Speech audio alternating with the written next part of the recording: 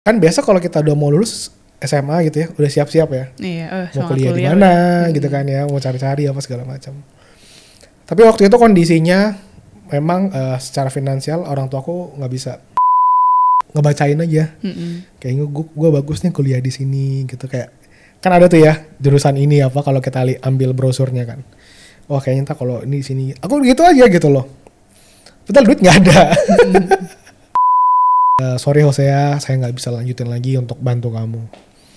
Dan situ aku nangis. Aku bilang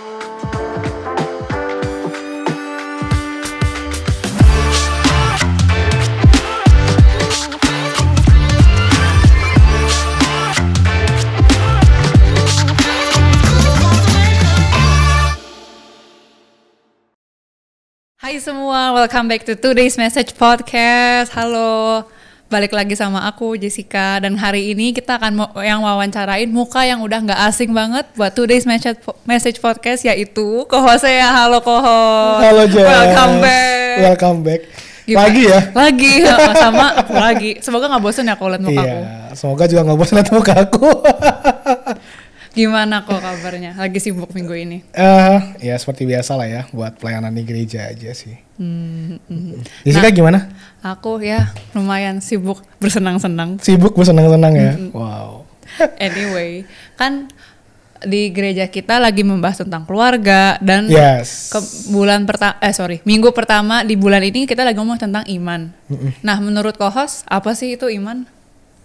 Iman apa ya. definisi iman itu? Itu sesuatu yang abstrak gitu kan buat banyak Iya. orang.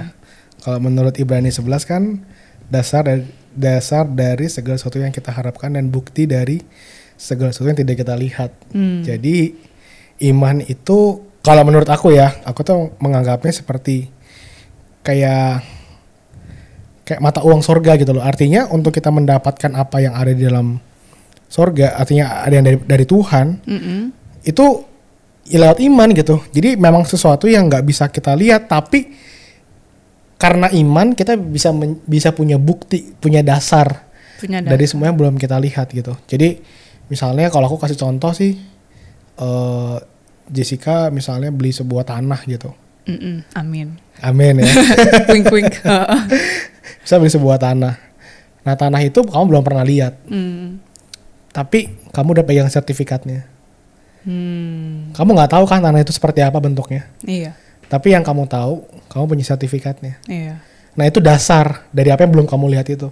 Oh. Bener dong. Mm-mm. Jadi buktinya apa kamu punya itu? Itu. Sertifikat. Sertifikat itu.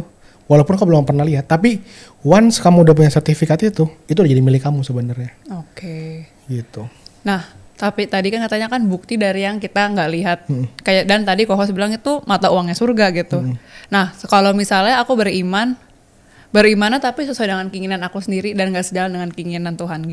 Misal gimana tuh? Misalnya aku beriman punya rumah segede Buckingham Palace gitu. gimana tuh? Nah, kalau buat aku gini, karena tadi aku bilang ini semua ada berhubungannya dengan sorga, dengan kepentingan Tuhan. Iman itu selalu harus beriringan dengan kehendak Tuhan. Oke, kayak gimana gitu. tuh? Jadi kita nggak mungkin eh, begini. Bedakan antara iman dengan mengiman-imani gitu kan ya. Contohnya iman saya besok punya Ferrari gitu. What for? Bener gak sih? Buat apa punya Ferrari? Emang kamu perlu misalnya gitu.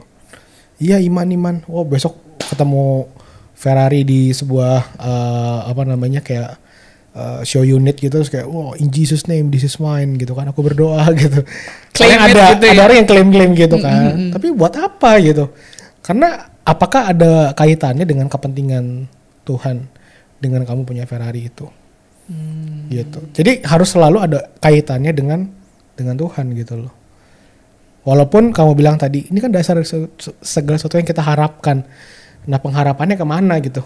Makanya dasar pengharapannya kan harus kepada Kristus. Hmm. Kalau dasar pengharapannya kepada Kristus, maka nanti yang akan kita inginkan tuh pasti berasal dari Tuhan. Nah itu yang boleh kita klaim. Oh, Gitu. berarti nggak ketemu Ferrari langsung tepuk tangan. In Jesus name it's mine gitu ya. Ayo. Oh, nah tapi cara membedakannya gimana kok keinginan kita dengan keinginannya Tuhan kan kadang-kadang hati kita bisa tricky kan ya. Kayak ya siapa sih yang tahu hati kita kecuali Ya. Tuhan gitu. Itu gimana tuh? Sebenarnya yang tahu itu kita sendiri ya. Hmm. Yang tahu hati kamu itu sebenarnya diri kamu sendiri. oleh karena itu mau nggak mau kita perlu ada terus bersama dalam dalam hadirat Tuhan entah dalam doa pujian penyembahan ya kita worship kita baca firman nah di situ tuh kita akan terekspos gitu loh sebenarnya hati kita tuh seperti apa Hmm. karena gini contoh nih Jessica sering main bareng nih sama aku gitu atau sekarang kan yang lagi sering main misalnya bareng teman kamu yang namanya Aurel ataupun home leader kamu yang namanya Ko Agung gitu. Mm-mm. ya kan? Ketika kamu sering main sama mereka main ngobrol makan bareng dan sebagainya kan lama-lama kamu tahu tuh mereka sukanya apa. Nah terus kamu diajak nih makan kepada tempat makan yang misalnya Ko Agung suka makan atau Aurel suka makan. Lama-lama kamu taste kamu akan terbiasa dengan taste-nya mereka. Dan akhirnya kamu jadi suka apa yang mereka suka Hmm. gitu. Nah sama waktu kita sama Tuhan, bagaimana supaya kita akhirnya bisa suka apa yang Tuhan suka? Ya kita harus bergaul sampai akhirnya kamu kayak eh, ini ya seperti ini yang Tuhan mau ya gitu. Jadi memang kalau dijelasin seperti apa nggak bisa ada formula yang pasti gitu kan, karena it's about relationship. Jadi ya taunya ya benar-benar dengan ya berteman, bergaul dekat harus dengan bergaul Tuhan. dengan Tuhan. Oke. Nah, tapi nih kohos, kan sekarang banyak ya kejadiannya. Gimana sih yang kita imanin A, tapi realitanya tuh bukan A, Z malah gitu misalnya.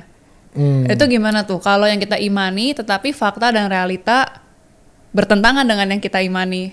Oke. Itu gimana sih biar caranya tetap percaya? Apa yang kita imani, ternyata hasil apa di faktanya nggak sesuai dengan apa yang kita imani itu. Mm, mm. Oke, balik lagi dong. Berarti ini eh, aku mesti cross check dulu nih. Apakah imannya ini udah sesuai Hmm. dengan prinsip Tuhan atau belum, dengan kehendak Tuhan atau belum? Itu yang pertama. Kalau misalnya anggaplah yang kau maksud tuh udah gitu ya. Mm, mm, mm. Emang udah ini emang udah ininya Tuhan gitu buat kita. Ya, kita harus tetap berpegang pada pada kebenaran itu. Contoh, aku punya pengalaman. Mungkin minggu lalu udah sempat sharing ya sama Jessica juga tentang eh, kehidupan aku waktu masih kecil. Iya. Nah, satu kali waktu aku SMA, aku udah mau lulus nih. Hmm. Jadi kayak tahun depannya tuh aku lulus. Tahun depannya aku lulus. Tapi eh, kan biasa kalau kita udah mau lulus SMA gitu ya, udah siap-siap ya. Iya, eh, Mau semangat kuliah di kuliah mana udah. gitu kan ya, mau cari-cari apa segala macam. Tapi waktu itu kondisinya memang eh, secara finansial orang tua aku nggak bisa Hmm. gitu. Eh, memang belum bisa untuk bayar kuliah. Tapi aku inget banget waktu aku SMA kelas 3 sebelum aku lulus itu, kira-kira mungkin setahun sebelum aku lulus atau bangsa 9 bulan sebelumnya aku lupa. Aku dengar satu firman Tuhan di radio. Dulu kan nggak kayak sekarang ya, udah kayak nontonnya YouTube segala macam gitu. Dulu masih kayak radio, Diputar-putar gitu iya ya. putar-putar gitu kan di salah satu stasiun rohani eh, radio rohani gitu kan lalu di situ salah satu apa namanya kayak pembicaranya gitu ada pendeta tentang sharing tentang iman entah gimana waktu aku habis denger itu aku cuma ngomong gini aku declare di kamar aku aku sendirian gitu. Aku bilang gini di dalam nama Yesus aku percaya bahwa aku adalah anak yang dikasihi oleh Tuhan. Aku percaya bahwa tahun depan aku kuliah. Kalau aku punya bapak yang baik maka aku tidak akan pernah meminta-minta. Kalau kalau bapak yang baik pasti akan memberikan aku roti. Dan aku percaya bapakku adalah bapak yang baik gitu. Aku kemarin aku ceritakan aku nggak punya figur bapak sebenarnya. Tapi aku entah kenapa tuh bangkit aja dalam hati aku tentang figur bapak di sorga gitu nah akhirnya setelah itu berjalan waktu karena aku declare ya hari itu ya malam itu that's it selesai berjalannya waktu kan terus kita ujian apa segala macam sampai lulus Hmm. Nah udah mau mendekati kelulusan, nothing happen just seperti yang tadi kamu bilang. Tapi aku udah beriman ya aku kuliah, aku aku bakalan kuliah gitu.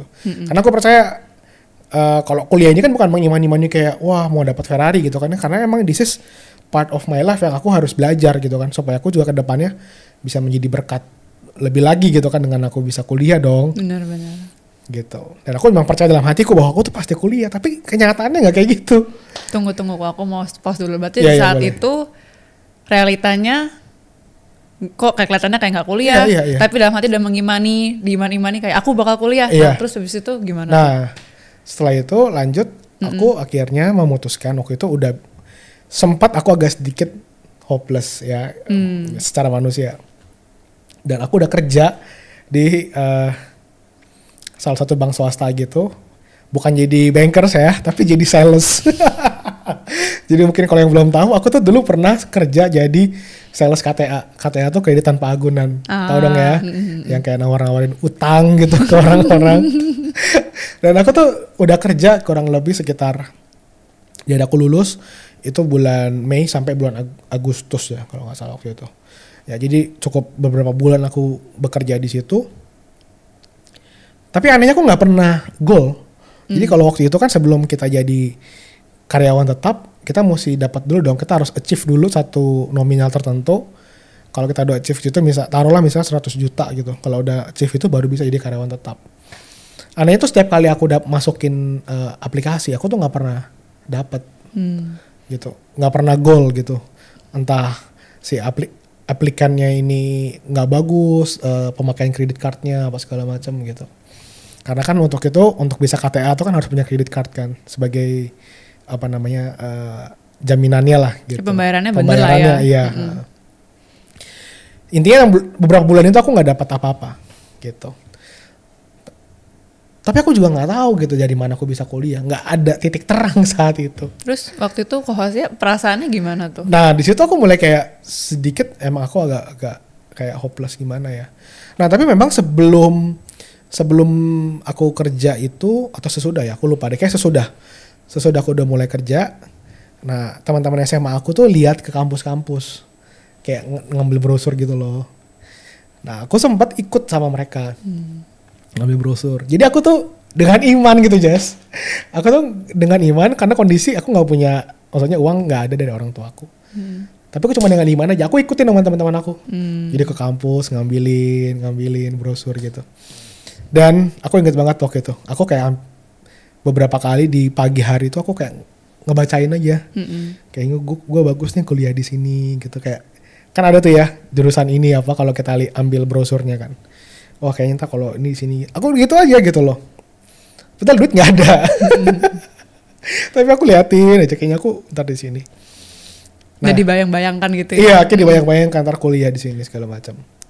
Setelah itu eh akhirnya satu kali mamaku dapat telepon dari seseorang.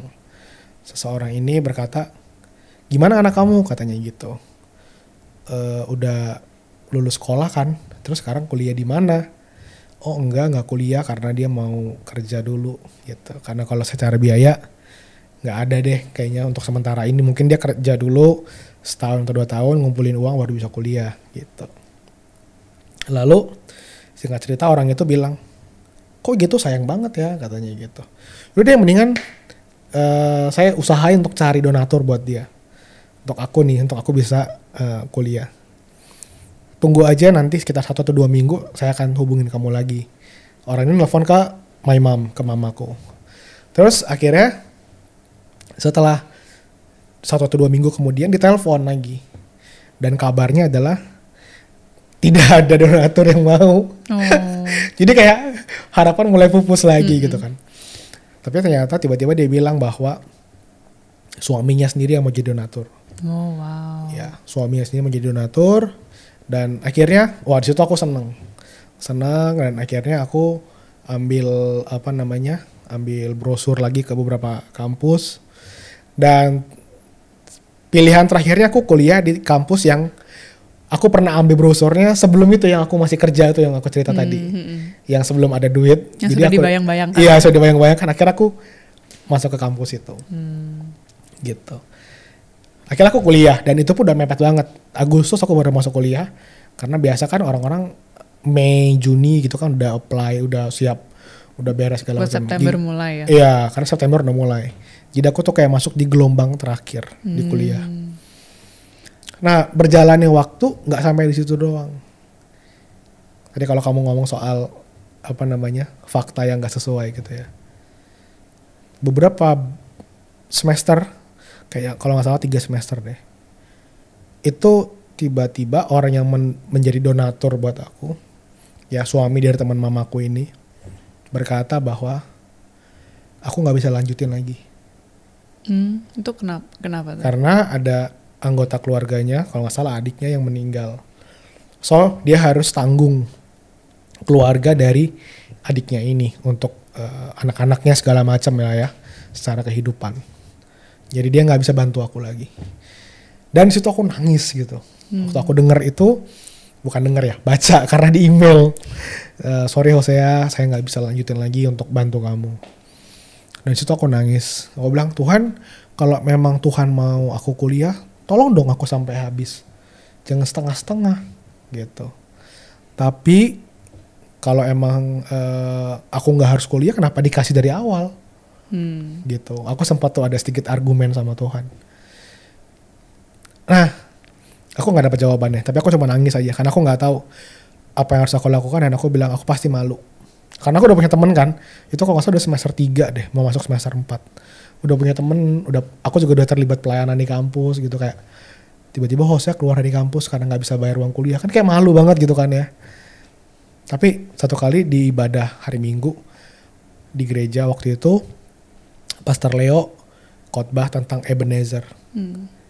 Ebenezer tuh artinya sampai di sini Tuhan menyertai. Jadi kalau Tuhan menyertai sampai di sini, Tuhan juga akan menyertai ke depannya nanti. Hmm.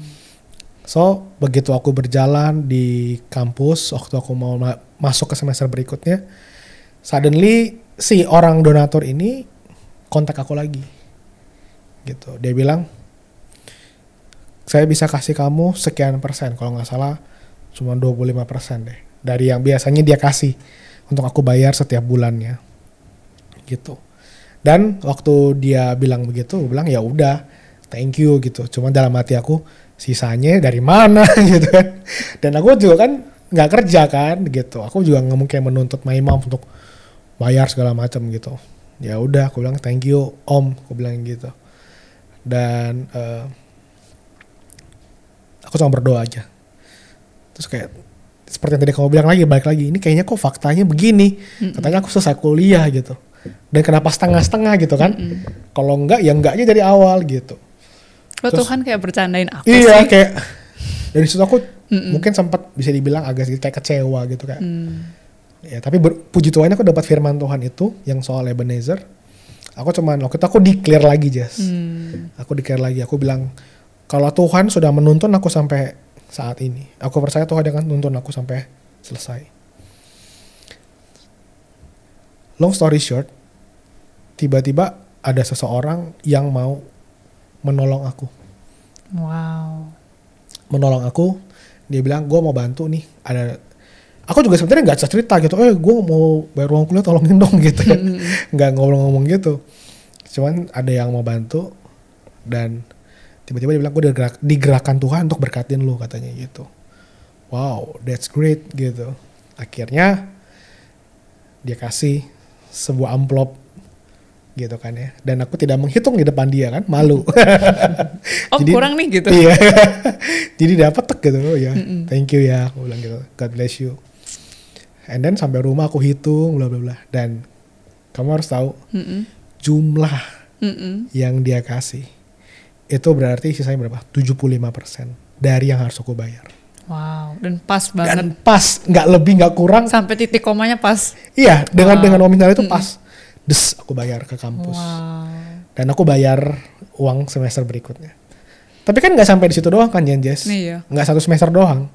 So how about semester semester berikutnya sampai aku wisuda dan wisuda itu pun kan butuh duit ya buat sidang butuh duit buat wisuda butuh duit dari mana gitu.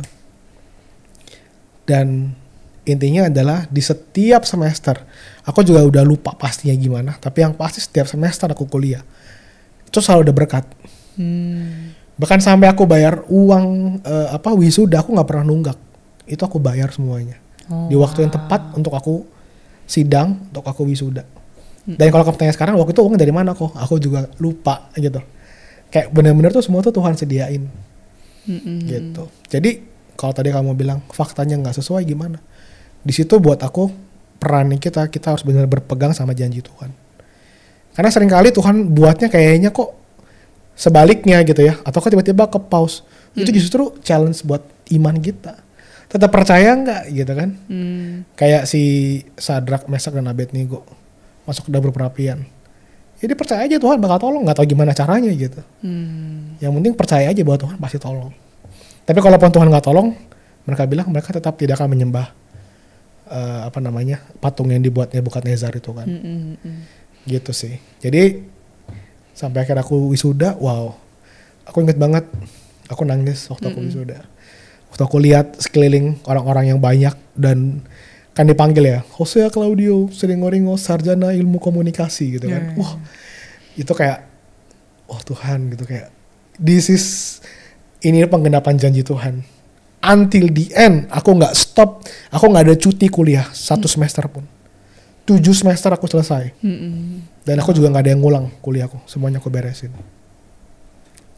Itu benar-benar pertolongan Tuhan. Iya. Dan mungkin buat teman-teman yang menyaksikan ini juga ya Jess, eh, kadang-kadang kita berpikir bahwa oh berkat gua tuh karena ada orang tua. Artinya gini, jangan menaruh imanmu pada orang tuamu. Taruh imanmu sama Tuhan tetap. Sekalipun orang tuamu nggak mampu, tapi Tuhan bisa. Jadi jangan kita pikir kalau orang tua kita nggak mampu tuh udah kayak tutup pintu gitu loh. Mm, mm. Karena im- apa dasar dari apa yang kita inginkan, yang kita harapkan itu tuh bukan pada orang tua atau bukan pada bos, pada siapa pun, tapi pada Tuhan. Kalau ini nggak ada, pintu lain mesti dibuka gitu. Pintunya Tuhan tuh banyak buat kita. Nggak cuma satu ya. Yes, Hmm. gitu. Nah, kok tapi gimana sih kayak kadang-kadang kan kita kalau kita mengimani sesuatu berarti kita harapannya tinggi dong. Iya kan? Tapi kadang-kadang dibilang, "Udah lu harapannya nggak usah tinggi-tinggi nanti kecewa." Hmm. Nah, gimana sih cara itu kan berarti kan ya udah berarti kalau gitu di disuruhnya ya udah udah realit real- apa realis- realistis Realistis. aja sih ngapain mimpi tinggi-tinggi capek nanti kecewa lagi kan dan biasa orang ngomong gitu kan orang yang sudah dikecewakan kan Iya, iya. nah itu gimana kok biar imannya tetap enggak gue tetap percaya kalau ini janji Tuhan buat gue gue tetap percaya kalau gue bisa itu gimana tuh Itu semua based on pengenalan akan Tuhan. hmm Contohnya gini, kamu kan pasti kenal sama sama papa kamu dong. mm-mm. Selama ini kamu dicukupin nggak? kenal kok Kenal ya. Selama ini kamu dicukupin nggak? iya iya. Dengan dengan berbagai mungkin kamu nggak pernah tahu tapi dia mungkin jungkir balik segala macam untuk mencukupi keluarga. Benar nggak? So karena kamu sudah terbiasa dicukupi sama keluarga kamu eh, papa kamu dan kamu juga kenal dia eh, orang yang bertanggung jawab buat hidup kamu one day kamu punya kebutuhan. Dan kamu rasa kayaknya ini kok bisa nggak ya gue dapetin ini gitu. Tapi kamu tahu kamu punya papa yang bisa tolong kamu. Mm-mm. gitu. Nah, kamu kan nggak mungkin kayak, aduh nanti papa kecewain aku nih. Hmm. Karena kamu udah selamanya udah mengenal dan sudah punya satu experience. Setiap kali dia akan usahain supaya kamu bisa punya itu. Nah, banyak orang yang kecewa atau yang akhirnya, eh, aduh Tuhan bisa nggak ya? Aduh Tuhan ini gimana ya? Bisa jadi kita belum benar-benar kenal Tuhan sepenuhnya.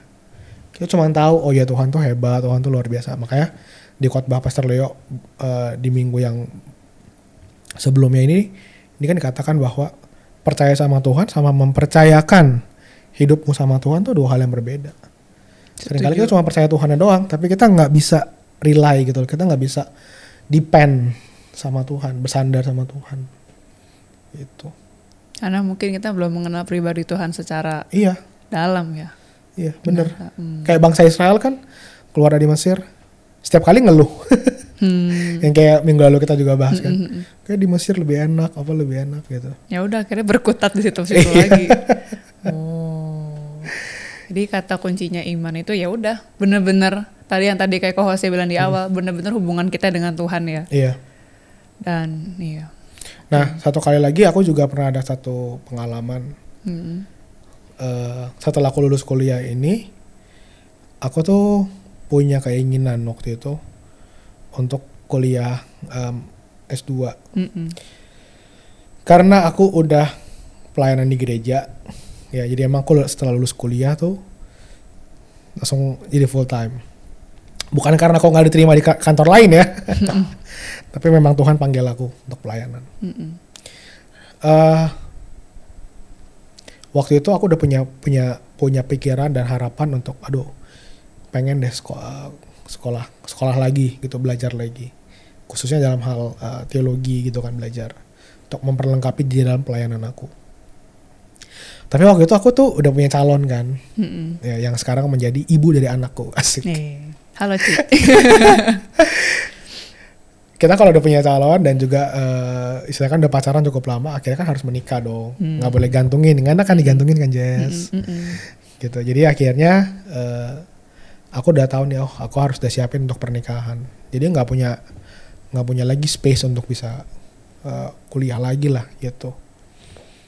Tapi entah gimana satu kali uh, kita beberapa orang dipanggil sama senior pastor gitu, sama gembala bahwa akan ada beberapa yang disekolahkan yang akan dapat beasiswa dari sekolah dari gereja untuk bisa sekolah teologi S2 gitu dan ternyata aku salah satunya yang dipanggil Hmm. gitu. Dan aku sebenarnya juga bukan S1 teologi gitu kan.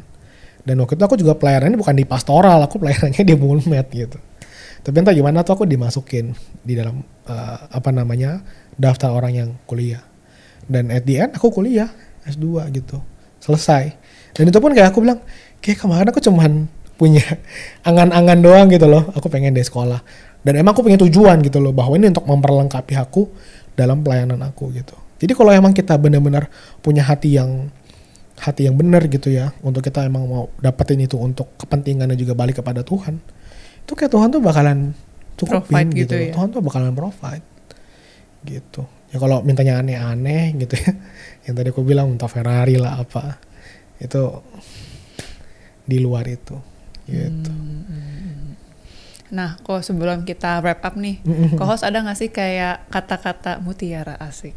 Kayak bukan muti kayak kata-kata penyemangat gimana sih buat orang-orang yang lagi tadi yang kayak kok ya bilang realitanya bu- realitanya pahit, menyakitkan, tapi kok nggak sesuai sama yang gue imanin gitu. Gimana tuh kok? Kan maksudnya pas kok kan eh, yang kok ya cerita ceritain ke kita kan cerita fast forwardnya tuh dari yang awalnya nggak kuliah, akhirnya kuliah, sempet gak mau kuliah, maksudnya kuliah sempet hampir terancam nggak kelar, terus akhirnya kelar. Tapi kan di dalam itu semua kan banyak pergumulan pribadinya kan. Iya. Kayak Tuhan ini beneran gak sih aku ditakdirin buat lulus? Kok, kok begini Tuhan bercandain aku ya? Kayak gimana sih kok? kayak di prank sama Tuhan gitu oh, ya kayak di prank, kayak surprise, kamu gak usah lulus aja deh gitu. Ini kejutan gitu. Kayak gimana gitu kan ka- ma- malah kadang-kadang kalau orang yang nggak berhasil melalui itu kan ujung-ujungnya udah gue kecewa Hmm. gitu kan terus jadi orangnya jadi pahit jadi ya udah hidupnya kayak gitu dan pasti kita nggak mau dong kayak gitu kita maunya kan sebagai menang kan dari itu tuh gimana tuh kok Iya. Buat aku intinya adalah seperti yang di podcast juga sebelumnya. Jangan pernah punya mental victim, hmm ya, mental korban gitu kayak yang tadi aku bilang kalau kita ber- punya mentalnya korban, kita akan bilang ini, wah gila ini, gue cuma jadi dalam tanda kutip jadi di prank sama Tuhan doang nih gitu ya. Hmm. Atau ya macam-macam lah mungkin dengan kita kecewa sama orang tua kita, kita kecewa sama siapa pun di sekitar kita yang bisa ngebuat kita kecewa. Karena kita nggak dapat apa yang kita mau. Nah kita juga harus tahu bahwa setiap apa pun yang kita mau harus berujung kepada pengenalan akan Tuhan. Aku percaya kenapa Tuhan izinkan aku waktu itu ngalamin itu tadi tiba-tiba di di interject nggak bisa lanjut kuliah, Mm-mm. terus udah doa kok nggak langsung cepet. Kenapa nggak langsung gitu kan? kenapa dibuat nunggu dulu Iya, kenapa gitu? aku harus nunggu sampai bulan Agustus? Mm-mm. Kenapa nggak bisa dari bulan Mei aku udah langsung orang itu telepon nyok mama aku gitu kayak kenapa "Iya, nggak hari itu doang ya." langsung dijawab gitu ya Iya. Nah itu sama seperti yang aku juga ceritain soal bangsa Israel. Kenapa Tuhan harus biarin ada padang gurun? Karena situ proses untuk akhirnya orang-orang ini tuh kenal Tuhan gitu. Hmm. Karena untuk dapetin apa yang menjadi janji Tuhan, it's another story sebenarnya.